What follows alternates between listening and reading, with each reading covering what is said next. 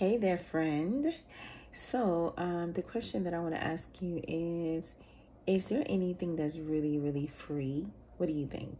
Is there such thing as a free lunch or something that's really free? Well, I think I want to tell you that there's nothing really that is free. Free cost someone something.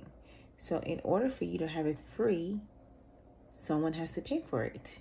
If you think about it, um, even history tells us that so many, our freedom came with a cost.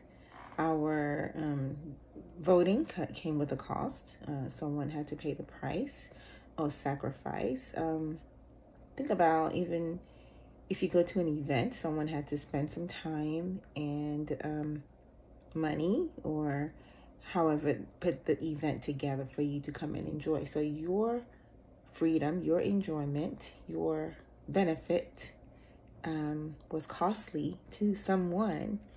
Um, even when we go to school, right? there's a cost associated with that. Uh, the end result, there's hard work, there's time, and and a lot of sacrifice, even just to get a degree. So there's so many things in life that come with a price. So nothing is really free in my opinion, because your freedom is costly to someone. So I don't think that we should take things for granted. It just uh, makes me realize that we should have more of an attitude of gratitude about the things that we um, get free. You know, we should appreciate the things that even come, quote, free to us.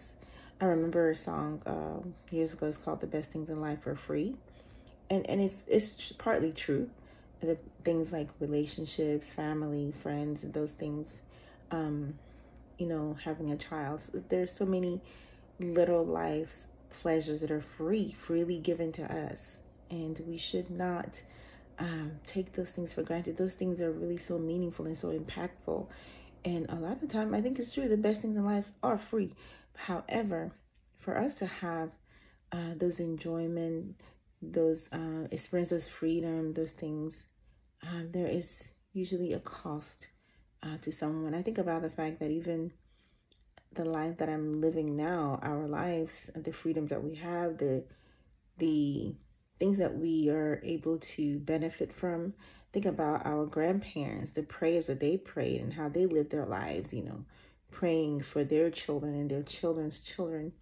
We are reaping the benefits of their prayers, of their uh, toils and labor etc. So what am I saying? I'm saying that we shouldn't take things for granted. I, am saying that it, just because something comes free to us does not mean that there was not a cost associated with it. So we ought to live a life um, of gratitude, not taking things for granted, thanking God for every little things, value things, value your time, value the people in your life, value the things that are given to you freely.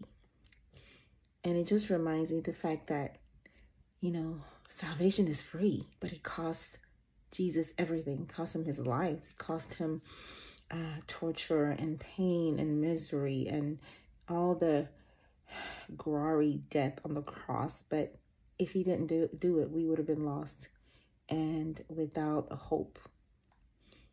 So it cost him his life. It cost him everything. He did it for us. He did it because he loves us so much.